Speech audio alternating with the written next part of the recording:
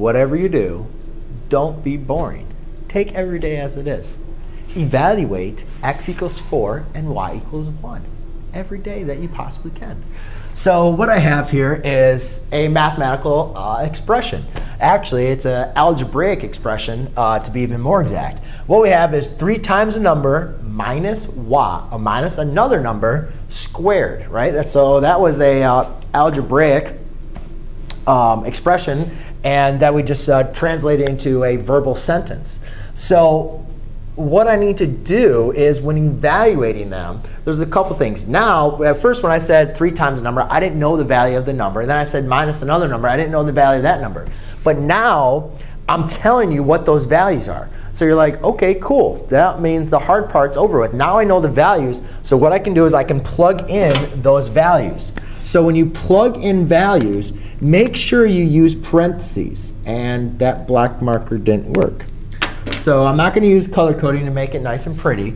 But what I will do is I'll put parentheses around my values.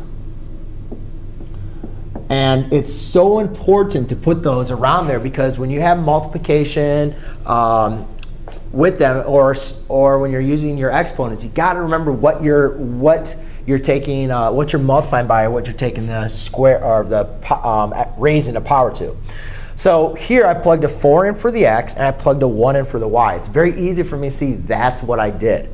Um, and now you can see the reason why I left it because in parentheses is three times a three times a number, we just put the three times a variable, we just put them next to each other. But when I'm multiplying three times a number, I got to leave them. I got to either use a multiplication symbol or I got to put a parenthesis between them. So this tells me to multiply. Three times four is going to be 12 minus. Well, one in parentheses, I don't need to put keep that in the parentheses. I can just do minus one squared. So then I do 12 minus 1, which is 11 squared.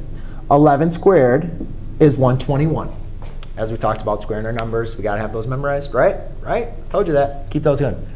There you go.